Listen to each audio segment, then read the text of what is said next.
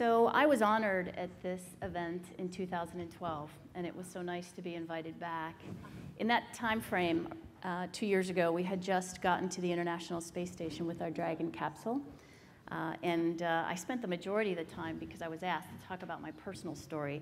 What I wanted to do today is hijack it a little bit uh, and talk more about SpaceX and what we're doing because I think it's really important uh, for, uh, well, frankly, for humanity. And hopefully, I'll do a hand raise at the end to see if you agree with me. So um, I'm here to talk about SpaceX, a little bit about myself, maybe some Q&A as well. In case you don't know what a SpaceX is. All stations verify ready for launch. FTS. FTS go. Prop. Props go. ABI. ABI's go. GNC. GNC's go. LD. LD is go. LCO go to initiate terminal count. Three, two, one, zero. Now liftoff of the Falcon 9. Falcon 9 is cleared to towers.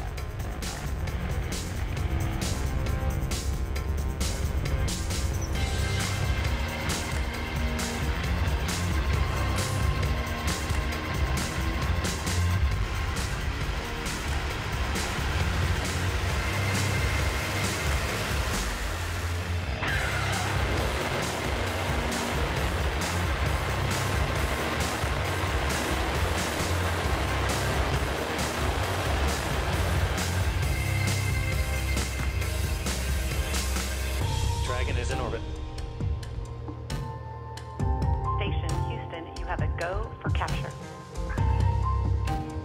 and capture is confirmed.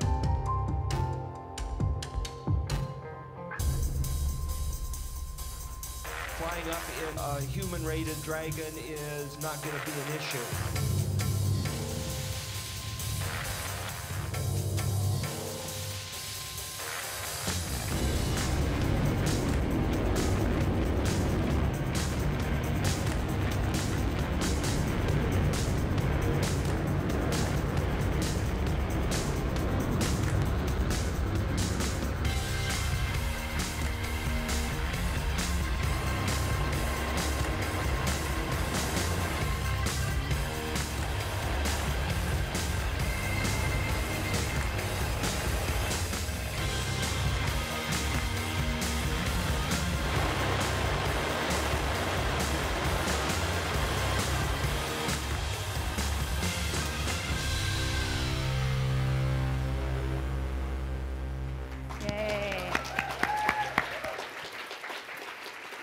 I can tell you it's a lot easier to watch a launch video after the launch has been done than sitting there in the control center like, hoping it goes well. So um, that gives you a little flavor for what we're doing. We build rockets and spaceships.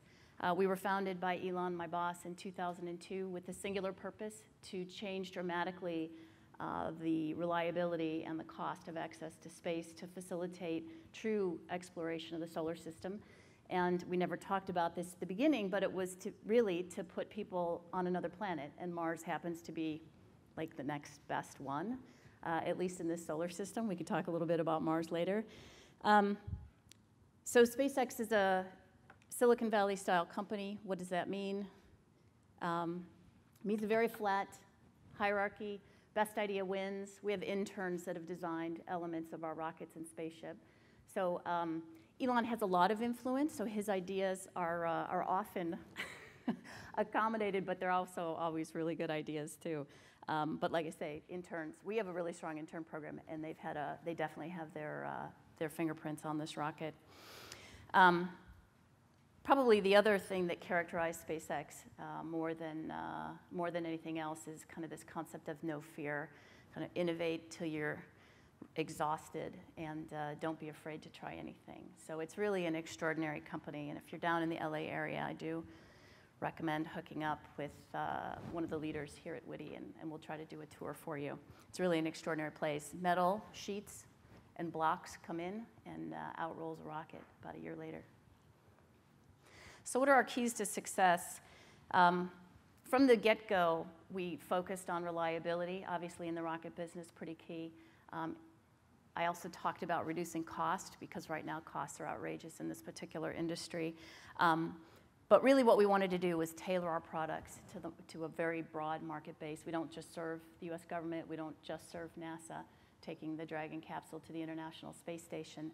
Uh, we have commercial uh, customers. As a matter of fact, about 60% of our customer base is commercial. Uh, and we also have international governments buying our rockets. I have the German uh, uh, Defense Organization buying my rockets. I have the Argentinian Space Agency buying my rockets. I have the Taiwanese Space Agency buying my rockets. So uh, very broad customer base to meet a lot of different needs. Um, in addition, what you, if you know about rocket companies, uh, we are very unique from the perspective that we build, we call it vertically integrated. We build almost everything ourselves. We write our own software, we build our launch sites, we build our tanks, we build our engines, and we build a lot of our avionics as well. So uh, it's pretty unusual. Most aerospace companies are integrators of, uh, of lots of capabilities from, uh, from vendors, but we, we, we're, we're going it alone um, to a large extent. Now, we do have tons of vendors. We've got about 3,000 vendors, 1,100 are significantly active. Uh, we spend about 64 cents of every dollar uh, on our suppliers, but they're at a pretty low level of integration. We buy tons of raw material, lots of wire, lots of connectors, lots of fuel. Um, so that's been another reason, I think, uh, for our success, at least in the speed and the pace of our innovation. Um, typically in the aerospace industry, there's lots of failures in the aerospace industry. Hopefully not when it comes to the mission, but uh, you know, you're trying to push the boundaries and, and you have component level failures. And uh, you want to get right to it. You want to talk to that engineer. And if that engineer is at a supplier, when that supplier has a failure, you get the lawyer on the phone. Uh, you generally don't get to talk, at least initially, to the engineer. So I think this vertical integration concept uh, was, is enormously important part of, uh, of SpaceX success. Um, so I did so I talk background SpaceX. Does everybody have a pretty good feel for the company? Okay, now I want to talk a little bit about the history because I think it's important to kind of know where you came from to figure out kind of why you're here and also where you're going in the future. And I'm not going to go through every year. I've only got 23 minutes and 49 seconds left. Um, but uh, but I, I, am highlighting some things. Uh, 2002, our year of uh, formulation. Uh, we had this giant building, 50,000 square feet in El Segundo, California. Now we've got over a million and we're busting at the seams. Um, we ended 2002 with 14 employees. I'm going to go through that cycle just to give you guys a concept of the growth. So we worked on the Falcon 1 rocket. It was a, a little rocket uh, just to test our technology, our team, and see whether we as a company could get anything to orbit. So this was a huge struggle. It was a huge growth phase for SpaceX. Um, in 2006, we lifted Falcon 1 off for the first time. It failed. Uh, we had a fire in the engine compartment, basically burned through some of the pneumatic lines, uh, stopped flowing gas, and engine stopped, and we came back kind of in a very Monty Python-esque way. We went about a mile up and came back fast. Um, we put that photo out on the web right away it was shocking that that's that middle photo there. You see the conflagration on the engine, which isn't supposed to be there. Um, but we wanted to be really candid with uh, the folks that were following us. Um, so that was the hard part of 2006, but I can honestly say that that day, when we launched that rocket, SpaceX grew up. Uh, we were ISO certified in the factory. We were not at the launch site, and it turns out that one of the operations we did at the launch site caused this failure. Uh, so, uh, so we grew up. Uh, it was a tough lesson to learn, but, uh, but important nonetheless. At the end of that year, somehow we convinced NASA, and we love NASA. We would not be the company we are today without NASA. Somehow we convinced NASA that even though we didn't get our first Falcon 1 to orbit, we were going to build a rocket 10 times that size and a spaceship named Dragon and take it to the International Space Station. So they gave us a $278 million agreement to try to go do that. I have to say that's got to be one of the most extraordinary programs that the government has, uh, has developed and worked. So it was called COTS, Commercial Orbital Transportation Services. Two suppliers ultimately uh, were selected, and both us and Orbital, the, the two suppliers, have both developed a new rocket uh, and developed a capability to take cargo to the International Space Station. Now, ours is better because we can actually bring cargo back because we were looking at carrying crew from the beginning. Um, most of the other capabilities going to the International Space Station bring stuff up and they burn up uh, upon reentry uh, back in the atmosphere. But it was an extraordinary day. We were really happy, scared to death, and we ended the year with 224 employees. So then, skip ahead two years, 2008, we finally got Falcon 1 to orbit. Um, took us the fourth try to get there. Fourth try was about seven weeks after the third try. But I was really encouraged once we got that video back on the third failure that we had on Falcon 1. Uh, it was pretty clear what happened. We knew how to fix it. We had another rocket in Kwajalein, and we launched it seven weeks later successfully to orbit. So that was extraordinary. Also extraordinary, we had made enough progress on the Falcon 9 launch vehicle and the Dragon capsule uh, that NASA felt comfortable moving from this development contract, that COTS contract that I talked about, to the operational contract called CRS, Cargo Resupply. So we won a $1.6 billion contract uh, in late 2008 uh, to do 12 operational missions to the International Space Station. So that was another really great and important year for us. Skip ahead two years. Um, another great year. We launched Falcon 9, the bigger rocket, for the first time. 100% successful. It was just kind of a demo payload, um, but, uh, but it was enormously helpful to the company. We launched that in June of 2010.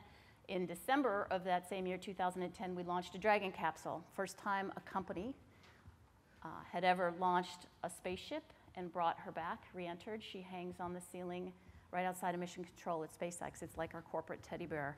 We keep it there um, to make sure folks remember what we're doing. Kind of hard to not, but it's all right. So we ended 2010 with uh, 1,200 employees. 2008, we ended with 618 employees. So we're screaming uh, hiring wise. I have a lot of lessons learned on that, by the way. Um, skip ahead two years, uh, and that's 2012. I addressed this audience exactly two years ago. We had just gotten the Dragon spaceship to the International Space Station. Was extraordinary for the company. I think the doubters, the people who didn't admire what we were doing or just hated us for whatever reason, um, was hard for them to criticize us on our technical chops after this particular time. Uh, we get criticized for other things, but we can talk about that later. Um, 2000, so that was 2012. Space Station, we got there twice. Uh, 2013, basically, we started uh, our normal, regular uh, satellite delivery operations. We actually upgraded the Falcon 9 in between uh, those flights. And uh, yeah, we basically opened up a $2 billion market in December of last year by flying the SES 8 satellite to its geosynchronous transfer orbit. So we ended 2013 with 3,200 employees. What next? What are we going to do next? Um, I talked a little bit about it. We're going to turn the Dragon cargo capsule into a crew capsule. We just did a big unveil last week. I don't know if you guys took a look. For you space nerds, I'm sure you saw it. Um, for those of you who didn't, it's worth looking at. It is basically the 21st century rocket ship that's going to carry people to space, so it's pretty cool. Um, so that's Crew. Falcon Heavy, it'll be the largest launch vehicle flying since the Saturn moon rocket. Uh, we should debut this next year. We've got, it, I don't know, understand why it's so hard. It's just three Falcon 9 launch vehicles glued together. At least that's what I'm telling my team. Um, they get mad at me, but uh, uh, we're building a new launch site. We're going to actually lift this off from uh, the historic Launch Complex 39A, which is where Saturn flew. It's where the shuttle flew, and we're going to fly Heavy from there as well. With Falcon 9 and Falcon Heavy, this covers the entire uh, space market as anyone knows it today. Um, I'm sure stuff will evolve to get bigger, and we'll build another rocket that's even bigger. Actually, our transporter to Mars is a bigger rocket, but that's a little bit later. What's critically important about getting people to Mars is being able to bring them back. Uh, so what we're trying to do is develop a rocket that is reusable.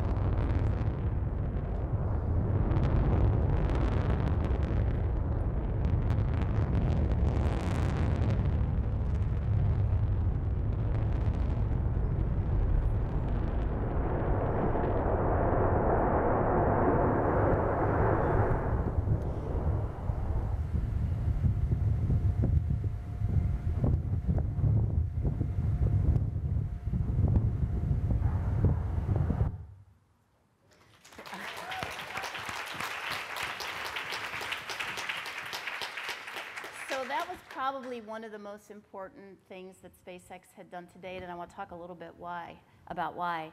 Um, you guys have all taken airplanes.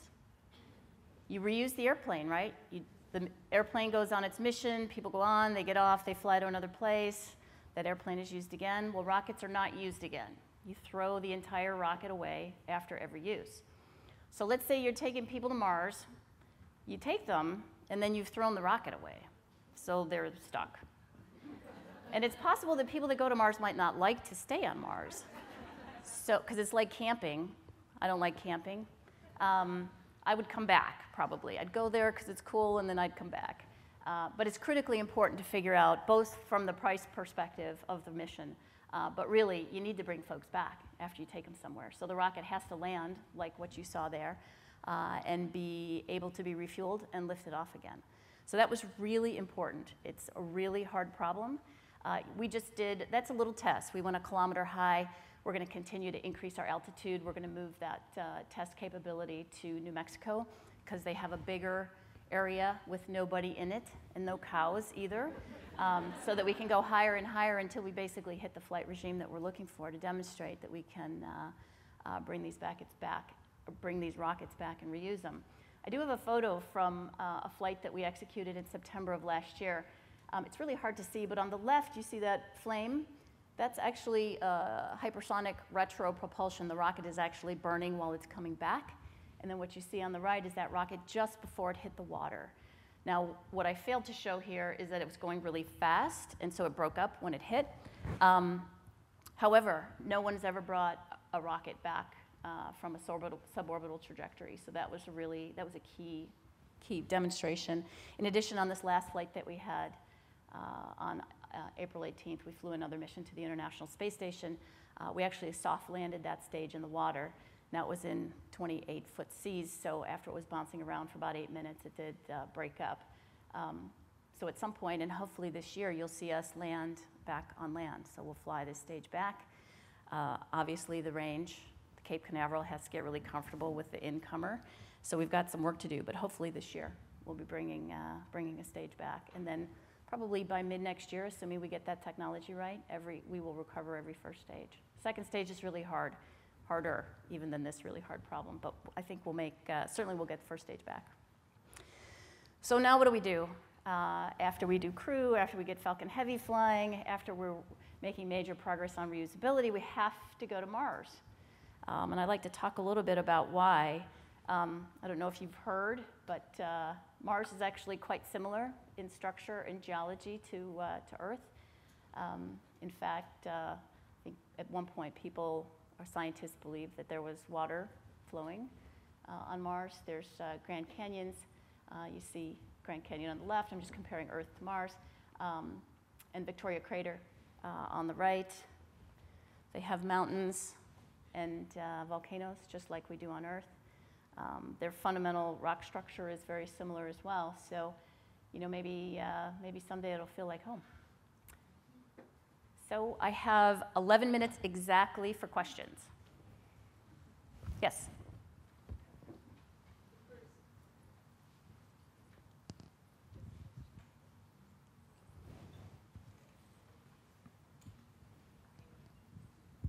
I love your story. Thank you so much. It was just exciting.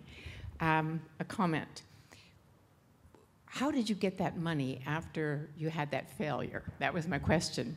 And then uh, the other question I have is when you were a little girl, did you envision doing what you're doing now? Is this something that was always part of what you wanted to do when you grew up? So I'll answer the second one first because it's easier. Absolutely not. I was, uh, I didn't know anything about engineering as a little kid, of course. Um, but uh, if I was interested in any mechanical device, it was cars. I was very interested in cars. Uh, as a matter of fact, when I was in third grade, my mom was driving me back from the grocery store, probably. We lived way out in the middle of nowhere.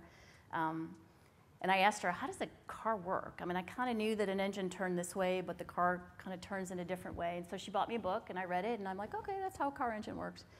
Um, and luckily, she pushed me. Uh, she's an artist. My father was a brain surgeon. And, uh, and she said I should be an engineer. And she pushed me, which doesn't usually work with teenage girls, by the way. Lesson learned don't push your girls. Um, but for whatever crazy reason, uh, I, I, took her up on it, and, uh, and it, uh, yeah, it allowed me to work with uh, extraordinary people at SpaceX and do crazy stuff. Oh, so the first question, how in the world do we win that contract? So it's not that unusual for organizations to win big contracts, even though they have had lots of failures in the past. Um, it was a, a little bit unusual to get that much money at that earliest stage for us. Um, but we had been firing engines, you know, a brand new, actually a brand new LOX hydrocarbon engine, uh, which hadn't been done in three decades in the United States. So we had definitely demonstrated some technical chops in that point, in that time frame. Um, but NASA went out on a limb. This whole program was really the dark horse program. They had the Ares and the Orion program as their kind of program of record, and then they gave a little bit of money. So half a million dollars, or half a billion dollars in that time frame was little uh, the Ares and Orion budget, monthly budget was about spend about 360 million a month. Um, so this was little for them, and uh, what they really wanted to do was facilitate new entrants in the space industry to really try to shake things up, and they did that. It's very successful. Two brand new launch vehicles. So we received, after contract change, or excuse me, agreement changes and adding scope, NASA in the end gave us 396 million dollars. We spent about 450 to 480 of our own uh, million dollars. Um, and so for less than a billion dollars, the United States government got a brand new launch vehicle, which competes on the international market. Uh, U.S. used to own commercial launch. Uh, we lost it in the early 90s, and uh, SpaceX, in 2012, we won every commercially competed mission in our vehicle class. Didn't make the Russians happy. Who cares? Uh, it didn't make, uh, didn't make the uh, Europeans very happy either. Mm-hmm. When did you start SpaceX? I was the seventh employee. I started in 2002. Now we have uh, about 3,600 employees, about 500 contractors. I was in the first batch. we were dribbling in every couple weeks. How do you make sure you maintain quality while you are scaling up? So there's, there are a couple of challenges with the growth, both on the, the HR front, the human capital growth, as well as uh, the reliability for sure. Um, the way we develop products, uh, we work with a very close-knit group of engineers and basically our R&D technicians. Um, and we work it through probably two builds. We have production watch us during the second build. The engineering development team does it all the first time. Um, production watches it second time, does it the third time with development teams watching it. Um, we still have a little bit to learn in that handover, uh, but what's really different about SpaceX, we've designed these rockets and these spaceships to be very testable, like right before launch, test them. So if you've missed things along the way, as inevitably people do, um, you, can, you catch it before you lift off. So it's, it's, it's not easy to do, and, and hopefully, you know, we don't have a launch failure um, because we are scaling. We used to build about two systems a year, and this year we'll produce 12 rockets and four spaceships. Next year we have to build about 24 rockets and eight spaceships. So we're growing fast. We do have a full-blown uh, ISO certified, AS9100 certified quality program. There's lots of eyes on this stuff, and we test everything, everything, everything, everything.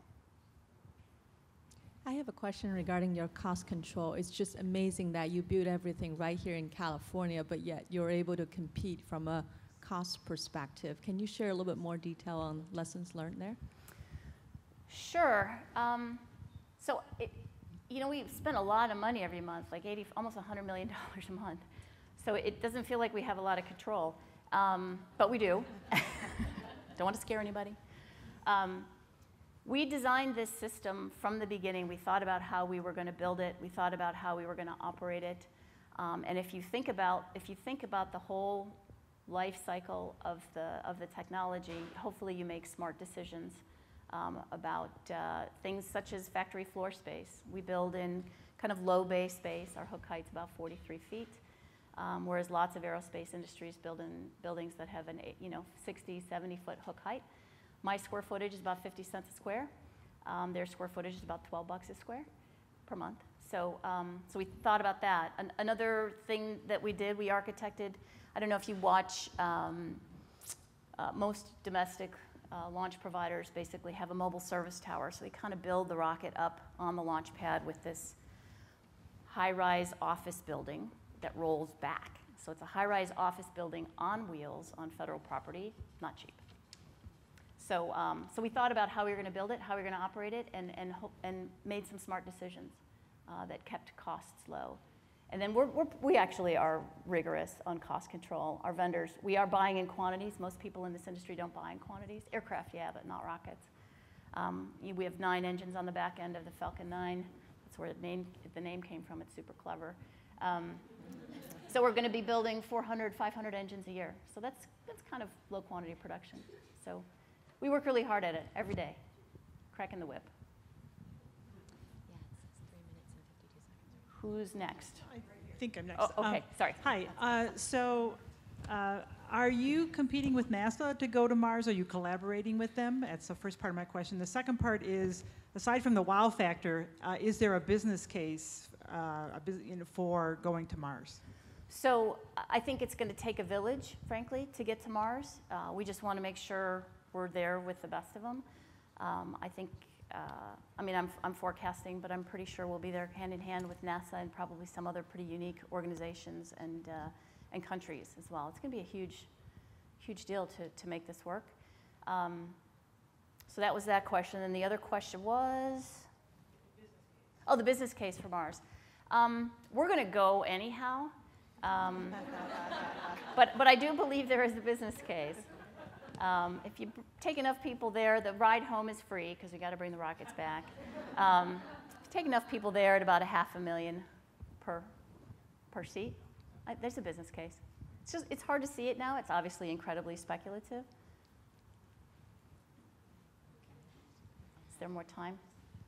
Two minutes and 37 seconds. Okay. Uh, wonderful presentation and videos. I think it was super cool. Um, so, do you guys um, encourage kids to come to your facility and take something like a field trip? My kids had been to JPL in uh, in Pasadena, I guess, and they really enjoyed it. So, is there other activities? And summer is coming up, so. Yeah, we do bring school groups to SpaceX. It's not a public place, you know, you have to know somebody Mhm. uh, to get a tour, um, but we, we never turn down school kids. That we, Okay. we do tours pretty regularly, a couple a week actually for So, what's kids. the process? Can I? Do I go through you? All right, uh, send an email to Emily Okay. at spacex.com. Okay. Thank you. Uh-huh. Hi, my question is related to career. So, um, personally, like, what do you feel when you join SpaceX as a seventh employee in the company? What influenced you, or what were your confidence confidence to join this company and b- go for your dream, like build for the dream?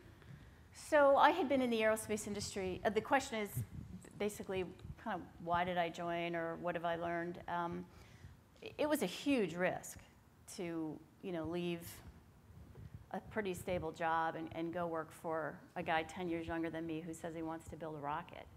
Um, so it was a big risk, but uh, I had been in the business for, gosh, it was 2002, for 14 years at the time. And um, I was really frustrated with the state of innovation in the industry. Um, and I thought, you know, this is the last job I will ever do in this industry because if it doesn't work, I'd rather go sell real estate or be a barista. Um, it- you know, it's a pretty, it was, it's a pretty, or has been a pretty stagnant industry. Um, and so it was worth the leap, for sure. Um, and I was hired in as chief of sales. Um, I had demonstrated my ability to do that in previous jobs, so I wasn't nervous about that part. Um, as a matter of fact, that's really my, I am an engineer, but uh, my contribution primarily to the company was building the manifest, uh, put, bringing the money in. So, did I, did I answer your question? Is that good enough? Okay. There's a question in the very back. 22 seconds. Notice how she immediately looked at the clock. Of all the people that would come up here, she's the one that definitely would look at a clock. Hi, I have a question. It's not rocket science, but um, I was just wondering, are you looking at alternative energy fuels, for instance, like um, you know the algae fuels, or any any other sources of energies to launch rockets? And can you disclose any of them? Uh, I won't so? disclose the details, but we are Right. funding some algae-based fuel testing on our engines. I think we're actually paying a little bit on the development side as well. Yeah, it would be great if, because the, the current planned fuel for Mars is, is liquid oxygen uh, LOX methane system. You can create uh, methane on the surface of Mars. So anyhow, I'm out. Zero. Thank you very much.